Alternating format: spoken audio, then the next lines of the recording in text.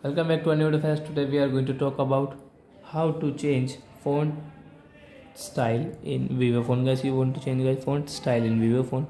So guys you can change in this video guys. I will tell you how to change. So before starting video friends I want to tell you if you're new in my channel and you are watching my video first time. So first of all go and subscribe my channel, click the bell icon and like my videos. So guys now let's start video. First of all open your phone setting to change font style guys click on display and brightness. Guys click on font style.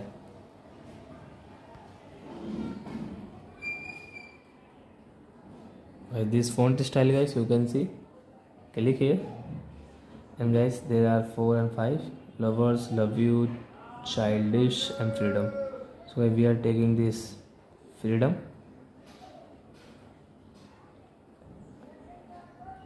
guys you have you want to purchase so you can purchase from now guys.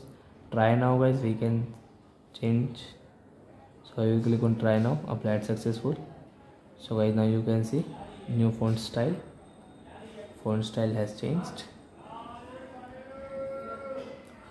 So guys i think friends you have understood how to change font style setting in vivo phone. So that's it guys. Thanks for watching my video. Now we will meet on next video with new topic. Before guys please go and like and subscribe my channel